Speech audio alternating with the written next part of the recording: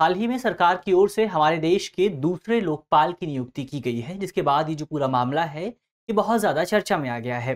तो आज इस वीडियो में हम इसी पूरे विषय पर लोकपाल का जो पूरा टॉपिक है, उस पर बात करेंगे। उसके बारे में जो तमाम इंपॉर्टेंट पॉइंट्स हैं, उन पॉइंट्स को भी समझने की कोशिश करेंगे। मेरा नाम है अक्षय और आपका स्वागत है ऋषि आई चैनल की इस नए वीडियो में। चलिए वीडियो की शुरुआत करते हैं और सबसे पहले वीडियो की रूपरेखा पर एक बार बात कर लेते हैं।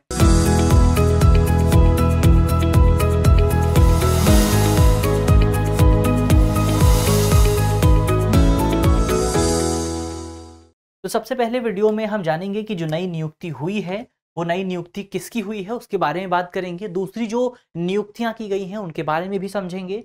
लोकपाल की भारत में पृष्ठभूमि क्या रही है बैकग्राउंड क्या रहा है, उस पर बात करेंगे। लोकपाल की संरचना किस तरह की होती है स्ट्रक्चर क्या होता है कौन कौन से लोग उसमें शामिल होते हैं, उनकी नियुक्ति कैसे होती है, उस पर भी बात करेंगे। और अंत में भारत में लोकपाल का क्षेत्राधिकार और उनकी शक्तियाँ क्या होती हैं, उस पर भी बात होगी। और एक सवाल पर भी चर्चा होगी। सवाल आपका प्रीलिम्स का है और आप वीडियो में बताए गए तथ्यों के आधार पर इस सवाल को आसानी से सॉल्व कर सकते हैं।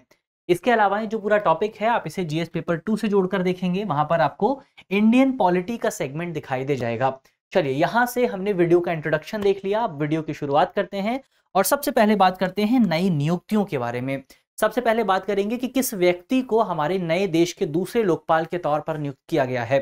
तो देश के दूसरे लोकपाल के तौर पर सुप्रीम कोर्ट के पूर्व न्यायाधीश अजय मणिकरवा खानविलकर, यानी कि ए एम खानविलकर को हमारे देश के लोकपाल अध्यक्ष, यानी कि लोकपाल ऑफ़िस के चेयरपर्सन के तौर पर, यानी कि लोकपाल के तौर पर नियुक्त किया गया है। वो क्या थे? वो हमने बात की, पूर्व न्यायाधीश रहे हैं सुप्रीम कोर्ट के और जुलाई 2022 में वो सुप्रीम कोर्ट से रिटायर हुए थे। तो जुलाई 2022 में उनके रिटायरमेंट के बाद, अब उन्हें 2024 में लोकपाल के अध्यक्ष के तौर पर नियुक्त किया गया है। इसके अलावा इससे पहले अगर बात करें तो इससे पहले न्यायमूर्ति पिनाकी चंद्र घोष, वो हमारे देश के पहले लोकपाल थे, जिनकी नियुक्ति जो हुई थी 2019 के आसपास हुई थी और वो 27 मार्च 2022 को अपने पद से जो है रिटायर हुए थे। तो 27 मार्च 2022 को जब उन्होंने लोकपाल का पद छोड़ा था तो उसके बाद से भारत में कोई भी लोकपाल मौजूद नहीं था और अब, उसके बाद से अब दो साल बाद भारत में लोकपाल की जो है नियुक्ति की गई है। इसके अलावा कुछ दूसरी नियुक्तियाँ भी आपका देखने को मिली हैं, जैसे उच्च न्यायालय हाईकोर्ट के पूर्व न्यायाधीश लिंगप्पा नारायण स्वामी, इसके अलावा संजय यादव, ऋतुराज अवस्थी। इन तीन लोगों को आपका लोकपाल में जुडिशियल मेंबर के तौर पर, न्यायिक सदस्य के तौर पर नियुक्त किया गया है। अब अगर आप संरचना की बात करेंगे तो आपका जो लोकपाल होता है, उसके अंदर चार न्यायिक सदस्य होते हैं। तो तीन यहाँ पर नियुक्त किए गए हैं तो चौथा कौन है? चौथा है, पहले से मौजूद है। चौथे व्यक्ति का जो नाम है, वो है न्यायमूर्ति प्रदीप कुमार मोहंती। तो ये जो न्यायमूर्ति प्रदीप कुमार मोहंती हैं, ये जो आपका लोकपाल है, उसके पहले न्यायाधीश, पहले जुडिशियल मेंबर के तौर पर काम कर रहे थे, तीन जुडिशियल मेंबर अलग से ऐड किए गए हैं तो अब वहाँ पर चार जुडिशियल मेंबर हो गए हैं। और इसके अलावा, जब आपके पिनाकी चंद्र घोष सेवानिवृत्त हुए थे रिटायर हुए थे तो उनके स्थान पर जो नियुक्त किए गए थे थोड़े समय के लिए, कार्यवाहक जो आपके लोकपाल थे, वो आपका प्रवीण कुमार मोहंती थे। तो प्रवीण कुमार मोहंती आपका एक्टिंग लोकपाल के तौर पर काम कर रहे थे, लेकिन अब सरकार की ओर से एक फुल टाइम लोकपाल की नियुक्ति कर दी गई है। तो ये बेसिकली हमने नई नियुक्तियों पर बात की, नई नियुक्तियों को समझा। अब हम बात करते हैं लोकपाल के बारे में, उसके बैकग्राउंड को यहाँ पर समझने की कोशिश करते हैं। अगर लोकपाल की आप बात करें तो इसकी जो आधिकारिक शुरुआत होती है, इसकी आधिकारिक शुरुआत आपको 1809 में एक यूरोपियन कंट्री स्वीडन में देखने को मिलती है। तो स्वीडन में पहली बार आपका लोकपाल का जो ऑफ़िस है, उसकी परिकल्पना की जाती है। इसके बाद गुयाना। गुयाना ऐसा पहला विकसित, विकासशील देश था। पहली ऐसी डेवलपिंग कंट्री थी, जहाँ पर लोकपाल के पद का सृजन किया गया था 1966 में, जिसे वहाँ पर ओम्बर्ट्समैन के नाम से जाना जाता था। इसके बाद दुनिया की कई डेवलपिंग कंट्रीज़ ने आपका गुयाना को फॉलो किया, जैसे कि मॉरिशस हो गया, सिंगापुर हो गया, मलेशिया हो गया, भारत हो गया। भारत में भी इसी के मॉडल को अपनाया गया। भारत में अगर आप बात करें तो भारत में जो इसका पहला विचार है, वो सबसे पहले ओम्बर्ट्समैन के तौर पर 1960 के दशक में सामने आता है। यानी कि जिस दशक में आपका गुयाना में पहले ओम्बर्ट्समैन की नियुक्ति की गई थी। इसके बाद वर्ष उन्नीस सौ अड़सठ में लोकसभा में लोकपाल विधेयक पारित होता है, लेकिन इसके बाद आपकी जो लोकसभा है, वो विघटन हो जाता है लोकसभा का, और ये जो है कालातीत हो जाता है। यानी कि ये जो पूरा विधेयक था, ये पारित नहीं हो पाता। और इसके बाद आठ बार सरकार प्रयास करती है कि आपका ये जो विधेयक है, ये पारित हो सके। आठ बार इसको पेश किया जाता है, लेकिन एक बार भी ये विधेयक पारित नहीं हो पाता। इसके बाद देश भर में आंदोलन होते हैं और आंदोलनों का यह परिणाम रहता है कि सरकार द्वारा अंततः 2013 में इस संबंध में एक विधेयक पेश किया जाता है और ये विधेयक 2014 में पारित हो जाता है। तो संसद के दोनों सदनों की ओर से लोकपाल व लोकायुक्त विधेयक 2013 को पारित किया जाता है और 1 जनवरी 2014 को हमारे जो राष्ट्रपति थे, वो इसे अपनी जो सहमति है, वो प्रदान कर देते हैं और 16 जनवरी 2014 को इस पूरे कानून को लागू कर दिया जाता है। इसके बाद 2016 में एक संशोधन कानून भी आता है, जिसके माध्यम से लोकपाल का जो पद है, उसको अपना मौजूदा स्वरूप प्राप्त होता है। तो ये बेसिकली हमने इसके पूरे बैकग्राउंड पर बात की और भारत में 2019 में पहली बार आपका लोकपाल जो है, उनमें चेयरपर्सन की नियुक्ति की गई थी। तो ये हमने बेसिकली पूरे बैकग्राउंड को यहाँ पर समझा। अब एक बार संरचना की भी बात हो जाए कि पूरा स्ट्रक्चर क्या रहता है, उसको भी अगर आप यहाँ पर समझने की कोशिश करें तो स्ट्रक्चर जो है बहुसदस्यीय निकाय है, यानी कि एक से ज़्यादा मेंबर यहाँ पर आपको दिखाई देंगे। इसमें टोटल आपको नौ मेंबर्स दिखाई देते हैं। पहले होते हैं आपके चेयरपर्सन जिन्हें आप लोकपाल ही कह सकते हैं।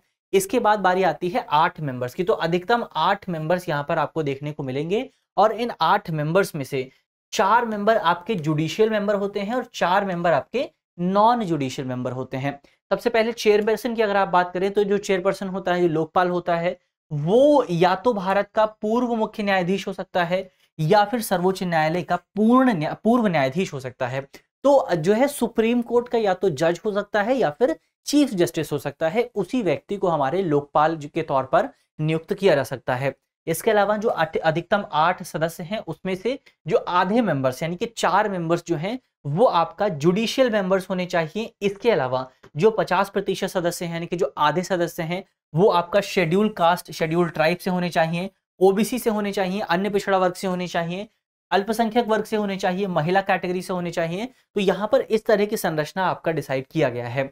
इसके अलावा लोकसभा के जो चेयरपर्सन होते हैं और उनके जो सदस्य होते हैं, उनका कार्यकाल बेसिकली पाँच सालों का होता है, या फिर वो सत्तर वर्ष की उम्र तक इस पूरे पद पर विराजित हो सकते हैं। तो जो भी पहले आ जाता है, वहाँ पर उनको अपना पद जो है छोड़ना पड़ता है। इसके अलावा सदस्यों की जो नियुक्ति है, वो एक चयन समिति के द्वारा की जाती है और चयन समिति के द्वारा सबसे पहले चयन किया जाता है और उसके बाद सिफारिशें राष्ट्रपति को भेजी जाती हैं और राष्ट्रपति फिर उसको, उस पर अपनी मंजूरी देते हैं और उनको नियुक्त करते हैं। इसके अलावा लोकपाल तथा सदस्यों के जो चुनाव होता है, उसके लिए जो चयन समिति बनती है, उसमें कम से कम आठ व्यक्तियों का होना अनिवार्य है और एक सर्च पैनल का भी गठन किया जाता है, जो कि अलग अलग नामों पर विचार करता है। तो ये बेसिकली हमने संरचना पर बात की कि इसमें जो है लोकपाल का स्ट्रक्चर किस तरह का रहता है। अब एक बार हम यहाँ पर लोकपाल के क्षेत्राधिकार और उसकी शक्तियों पर भी बात कर लेते हैं कि कहाँ कहाँ पर ये जो है आपका काम कर सकता है। लोकपाल की शक्तियों का अगर आप बात करें, क्षेत्राधिकार की आप बात करें तो प्रधानमंत्री इसके क्षेत्राधिकार में शामिल हैं, इसमें मंत्री शामिल हैं, संसद शामिल हैं, संसद के सदस्य शामिल हैं, group A, group B, group C, group D के जो अधिकारी हैं, वो शामिल हैं और केंद्र सरकार के जो अधिकारी हैं, वो यहाँ पर शामिल किए जाते हैं, जो आपका ऑल इंडिया सर्विसेज़ हैं, उनके मेंबर्स यहाँ पर शामिल किए जाते हैं। तो अगर इनमें से कोई भी व्यक्ति, इनमें से किसी भी व्यक्ति के खिलाफ अगर भ्रष्टाचार का कोई मामला आता है तो उस मामले की जाँच का जो अधिकार है वो अधिकार आपका लोकपाल को दिया गया है। इसके अलावा लोकपाल का प्रधानमंत्री पर क्षेत्राधिकार केवल भ्रष्टाचार के उन मामलों तक सीमित है, यानी कि केवल उन्हीं मामलों तक आप जो है लोकपाल प्रधानमंत्री के मामले में हस्तक्षेप कर सकता है, जाँच कर सकता है, जहाँ पर ये मामले इन्वॉल्व नहीं है, जहाँ पर ये वाले जो टॉपिक हैं, वो इन्वॉल्व नहीं है। कौन कौन से टॉपिक इसमें हो गया आपका अंतर्राष्ट्रीय संबंध, इसके अलावा इसमें आपका जो इंटरनल सिक्योरिटी है, लोक व्यवस्था है, परमाणु ऊर्जा है और अंतरिक्ष है। तो ये जो आपके टोटल पाँच जो टॉपिक हैं, अगर इनमें से किसी मामले में, इनमें से किसी टॉपिक में भ्रष्टाचार का मामला आता है तो आपका लोकपाल जाँच नहीं कर सकता। इसके अलावा अगर कोई भी मामला आता है तो वहाँ पर लोकपाल जाँच कर सकते हैं। यानी कि अगर कोई मामला आता है, मान लीजिए परमाणु ऊर्जा को लेकर, प्रधानमंत्री पर यह आरोप लगता है कि प्रधानमंत्री ने परमाणु ऊर्जा के मामले में बहुत ज़्यादा भ्रष्टाचार किया है। तो ऐसे मामले की जो जाँच के अधिकार है, वो आपका लोकपाल के पास मौजूद नहीं है। इसके अलावा संसद में कही गई किसी भी बात या दिए गए किसी भी वोट के मामले में मंत्रियों या सांसदों पर लोकपाल का क्षेत्राधिकार लागू नहीं होता है, क्योंकि हमारे जो सांसद हैं, हमारे जो मेंबर ऑफ़ पार्लियामेंट हैं, उन्हें हमारे संविधान के माध्यम से विशेष अधिकार प्रदान किए गए हैं। संविधान के अनुच्छेद 105 एक के माध्यम से। तो ये बेसिकली आज का हमारा टॉपिक हुआ, हमने लोकपाल के क्षेत्राधिकार और उसकी शक्तियों के बारे में भी बात कर ली है। अब अंत में हम इस पूरे टॉपिक से जुड़े एक सवाल पर भी चर्चा कर लेते हैं। तो आज का जो हमारा सवाल है, उसमें आपसे पूछा गया है कि किसे देश के पहले लोकपाल के तौर पर नियुक्त किया गया था? हमारे ऑप्शन है option A Kapil Sibal option B Ranjan Gogoi option C Ajay Manikar Ajay Manikarwar Khanwilkar या फिर ऑप्शन डी पिनाकी चंद्र घोष। तो इसका जो सही जवाब है, वो जल्दी से आप कमेंट बॉक्स में लिखेंगे। बहुत आसान सा सवाल है। अगर आपने वीडियो को ध्यान से देखा है तो आप आसानी से इस सवाल के जवाब को दे सकते हैं। इसके अलावा मुझे उम्मीद है कि वीडियो आपको पसंद आई होगी, और अगर पसंद आई है तो वीडियो को लाइक कीजिएगा, अपने दोस्तों के साथ शेयर कीजिएगा, अपने साथियों को हमारे चैनल के बारे में, हमारे वीडियो के बारे में बताइएगा। और अगर आप चैनल पर नए हैं, और आपने चैनल को सब्सक्राइब नहीं किया है तो चैनल को सब्सक्राइब भी कीजिएगा। मिलते हैं आपसे कल, तब तक के लिए अपना ख्याल रखिए, ध्यान रखिए, पढ़ते रहिए। धन्यवाद। डियर व्यूवर्स अपने एग्ज़ाम की तैयारी को और बेहतर करने के लिए हमारे चैनल को लाइक शेयर और सब्सक्राइब करना न भूलें।